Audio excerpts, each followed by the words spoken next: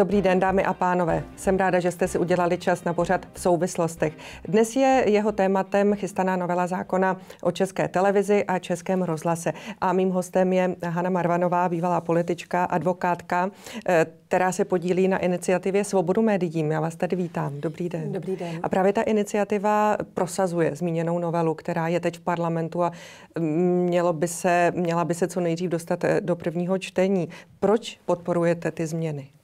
Eh, platformu Svobodu médiím jsme založili eh, lidé, kteří se zabývají médií, eh, profesní organizace, například syndikát novinářů nebo protikorupční iniciativy z toho důvodu, že svoboda médií, nezávislost médií je klíčovým předpokladem fungování demokracie a kontroly moci. Pokud média nejsou nezávislá, pokud neposkytují dostatečně objektivní informace lidem, tak demokracie, v níž lidé mohou volit, tak je vlastně jenom eh, na oko, není úplná, protože ke svobodné volbě lidí potřebují lidé právě jasné a objektivní informace. A zejména v současnosti, kdy došlo ke změnám e, majetkových struktur soukromých médií a co si, mm, jak si budeme povídat, vždycky záleží na tom, kdo média vlastní a to určitě ovlivňuje obsah médií, tak e, posiluje význam médií veřejné služby, tedy u nás České televize, Českého rozhlasu. Ta si platí všichni koncesionáři, všichni diváci a právě tato média by měla eh, být eh, příkladná v tom, aby poskytovala objektivní, vyvážené informace pro svobodné vytváření názoru a zároveň eh, poskytovala veřejnou službu, kvalitní veřejnou službu, to znamená pořady, které jsou nejen komerční, ale které jak si odpovídají eh, tomu, eh, proč si tu veřejnou službu platíme. Tedy, aby, já bych to tak řekla, pozvedala úroveň obyvatel, protože toho je v demokracii velmi zapotřebí. Máte pocit, že to teď nedělají veřejnoprávní média, rozhlas a televize? Myslím si, že to nedělají dostatečně a že navíc chybí eh, debata o tom, co, co jak si v těch médiích chybí. Podle mě, já hodně sleduju zpravodajství, sleduju diskusní pořady, eh, zabývám se nejen politikou, právem, eh, odbornými věcmi a chybí mi tam debaty. Opravdu debaty, které jsou otevřené, svobodné, eh, založené na faktech, na informacích. A mm, v minulosti takové debaty byly v televizi, v rozhlase, ale jich čím dál méně, nebo skoro vůbec nejsou. Takže mnoho, chybí tam také satira, třeba politická, takže ona běží na internetu, internetu, ale říká se, v televizi to nemůže být, protože by to snad někomu mohlo vadit. Myslím si, že e, vzniká taková plíživá cenzura, autocenzura možná u těch lidí, kteří tam jsou. E, to znamená, že e, ta média neposkytují dostatečné informace a dostatečný prostor pro to, aby, si, aby tomu lidé mohli věřit, ale mohli si vytvořit svůj názor a ne, že budou indoktrinováni nějakým směrem. Není přehnané tvrdit, že nejsou až tak svobodná veřejnoprávní média. Lidé mají možnost eh, skládat si obrázek eh, nejenom z nich, ale i z komerčních, z internetu, jak jste sama zmínila. Je to opravdu tak zle? Eh, já myslím, že dneska není problém, eh, že se k lidem nedostávají informace, ale jde o to, aby to byly informace objektivní a ověřené. A čím více informací, je to vlastně záplava informací, jak eh, v tradičních médiích, tak v nových médiích, na, na sítích internetových. A čím více toho je, tím více je pro lidi těžké odlišit, co jsou dezinformace, co je skutečně pravda. A pochopitelně ta soukromá média, nech se chovají svým způsobem způsobem svobodně, soukromně prosazují nějaké, nějaký svůj dílčí názor, zájem. Konec konců mají své majitele. A mají své majitele a jak si není vlastně nic divného na tom, že ten majitel e, prosazuje nějaký svůj zájem. Je věcí samozřejmě novinářů, jestli na to přistoupí, ale média veřejné služby, na ty bychom měli klást vyšší nároky. Právě na tu objektivitu, eh, vyváženost, ověřenost informací. Protože pokud lidé nemají, pokud mají informace, ale nejsou ověřené, nejsou pravdivé, mohou podléhat eh, různým manipulacím a vlastně rozhodovat se falešně na základě falešných informací. Myslím si, že média veřejné služby právě proto vznikla, aby tady byl nějaký férový prostor pro výměnu informací, pro debaty. Když se podíváme jenom na českou televizi, na český rozhlas, tak eh, si můžeme vzpomenout, že tam bývaly debaty, které byly otevřené různým lidem, různým odborníkům. Teď tam zůstaly otázky Václava Moravce a e, dvě, tři další, dva, tři další formáty, ale myslím si, že to nejsou svobodné debaty, kde by mohly padnout jakékoliv, jakékoliv názory, jako když tam by bývaly pořady typu respektování, sněží a tak dále. Myslím, že ten prostor se za ty roky zmenšil a že souvisí i s tím, že ta média veřejné služby zohledňují e, zájmy politických stran v parlamentu. Média veřejné služby, Česká televize, Český rozhlas, vlastně jejich ředitelé jsou závislí na radách. Rady... Ale to byly vždycky. I předtím, když jste říkala, že v ano. tomto ohledu v České televizi byly debaty, které vám byly bližší a které splňovaly vaše požadavky. Ano. E, oba zákony vznikly v roce 91. Já jsem se na nich podílela jako spolupředkladatel. Byl to tehdy poslanecký návrh a skutečně tehdy byl tam navržen jednoduchý model. Rady mají být orgánem veřejnosti a e, do nich mají být nominováni odborníci, osobnosti, které, které mají reprezentovat různé názorové, zájmové, sociální, kulturní e, proudy. E, do doby, než vznikla opoziční smlouva, tak to bylo respektováno. Byť zákon umožňoval něco jiného. V roce 98 vznikla opoziční smlouva. Do, čili od roku 91 do roku 98 ty rady vypadaly jinak.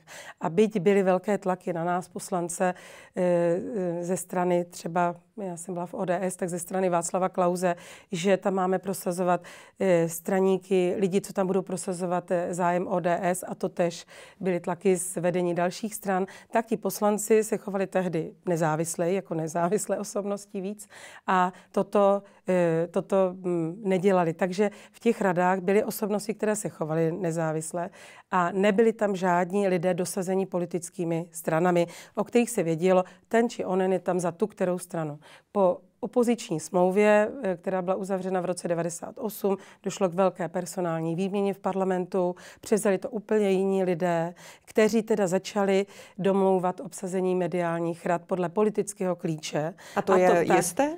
Je, ano, a je to takhle. Já jsem e, sama byla v parlamentu do roku, 90, nějaké takové řeči, do roku 98 a pak jenom jeden rok v roce 2002, 2002-2003, ale mohou o tom vyprávět i další poslanci, dokonce i radní, e, mohou vyprávět o tom, že vlastně ti zvolení radní jsou vždycky sice zvolení třeba za nějaký spolek, který je příklad úplně neznámý nebo nově vzniklý, ale ví se, že to je to místo, které má tu ČSSD, tu TOP 09, tu jiná politická strana.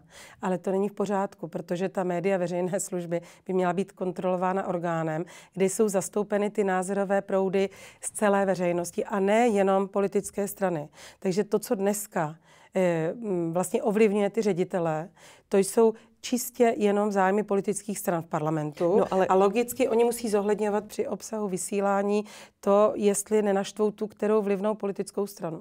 Je to ale takový problém eh, být volený politickými stranami? Třeba politolog Bohumil Doležel říká, že je to eh, tak v pořádku, protože parlament je garantem demokracie a politické strany jsou eh, na základě demokraticky zvolených voleb součástí společnosti a reprezentují veřejnost.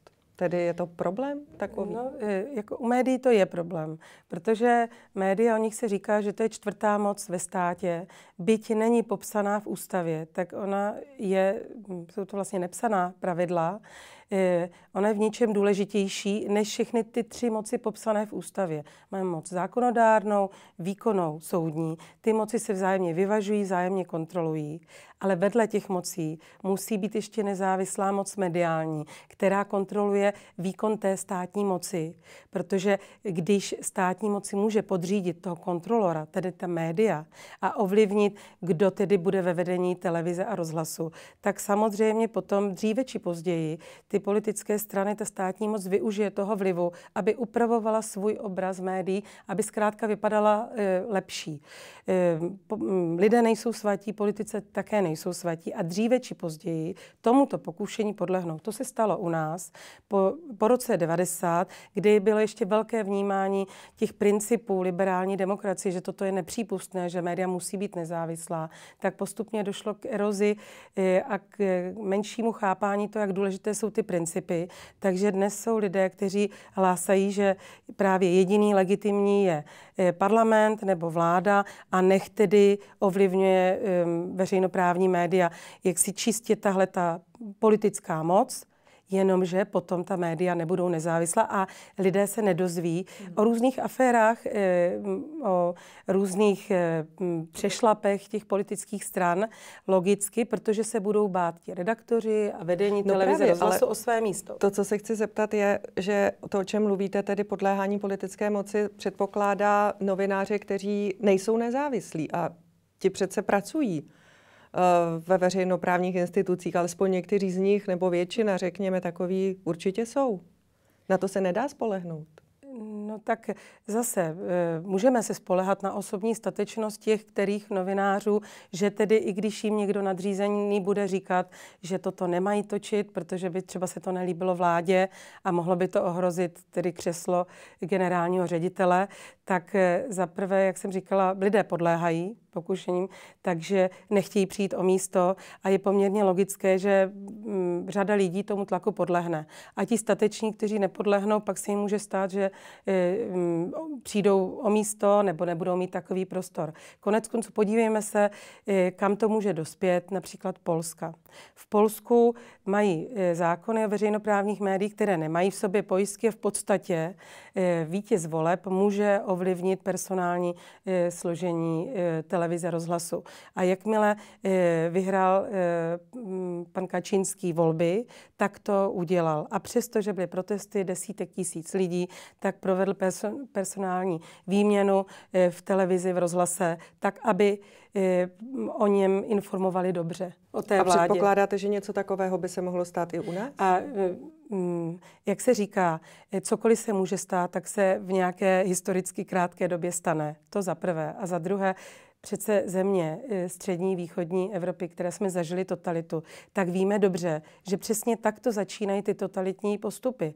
Eh, komunistická moc taky věděla, že si potřebuje podřídit média, že nemůže umožnit, aby eh, v těch jejich médiích byly zveřejněny jakékoliv názory, ale jenom ty názory, které jim neškodí. Mezitím, a trvalo to hrozně dlouhou dobu, vlastně trvalo to 40 let, než lidé postupně zjišťovali, že věci jsou jinak.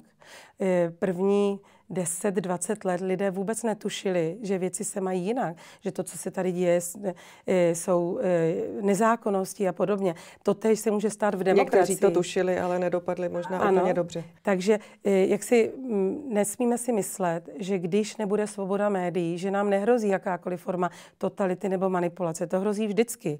Musí být svoboda.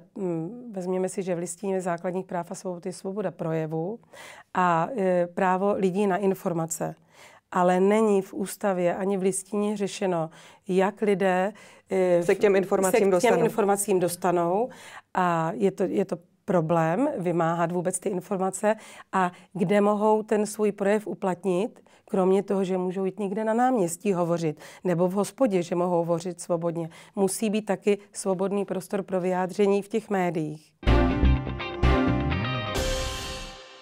A v té novele zákona o veřejnoprávních médiích, o české televizi a českém rozhlase, tam se tedy počítá s tím, že volba rad by byla jiná. Tam by se podílelo, pokud jsem se správně dočetla, asi 22 organizací, které budou v zákoně přesně vypočítány. Není ale toto problém, jak se vedení Českého rozhlasu a České televize ohrazuje, že by právě tyto organizace potom získaly až příliš velké privilegium na úkor ostatních? Mm-hmm. Je třeba říct, že Mluvit ten, do vysílání ano, veřejnoprávních médií. Je třeba říct, že ten zákon, to je poslanecký návrh, podaný poslanci napříč politickým spektrem, ale byl připravený legislativou ministerstva kultury. Byl připraven podle bavorského modelu, v Německu takto funguje dozor nad veřejnoprávními médií a e, přímo v zákoně jsou výjmenovány subjekty, které mohou dozírat prostřednictvím rad na plnění veřejnoprávního poslání.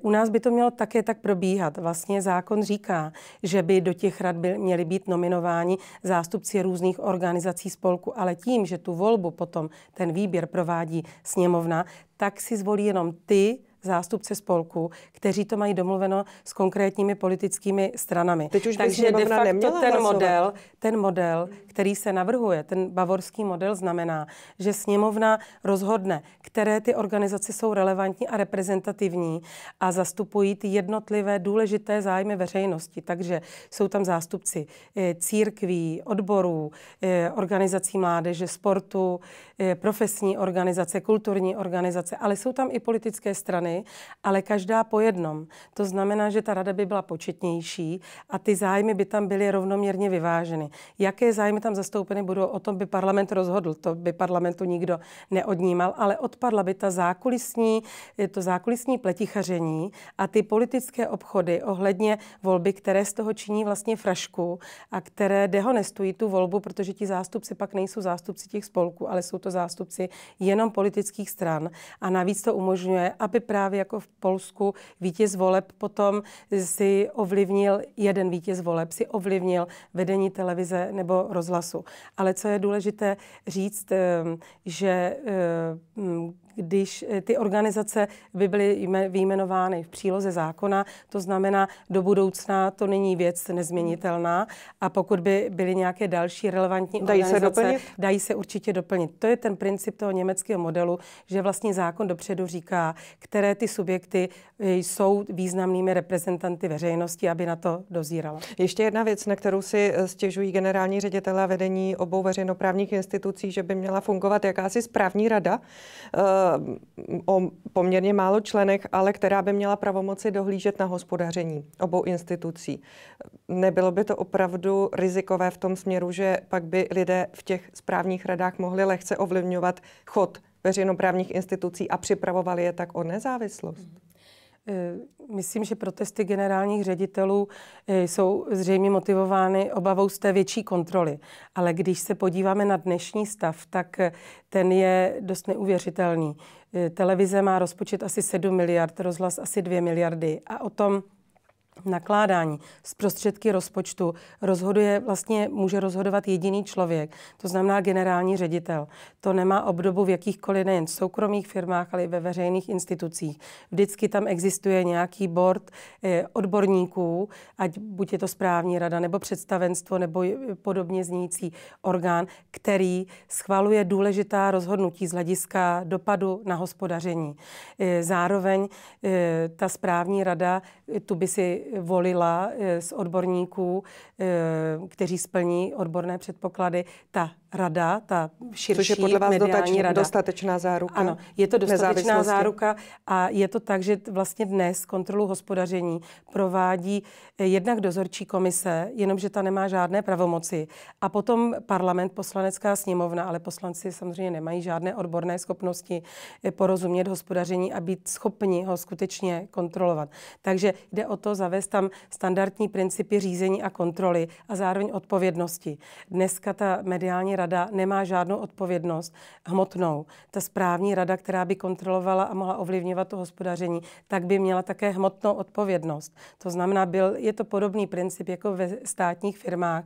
Je dozorčí komise e, nebo správní rada, prostě je tam orgán, který nese e, kolektivní odpovědnost, ale i tu hmotnou odpovědnost za hospodaření.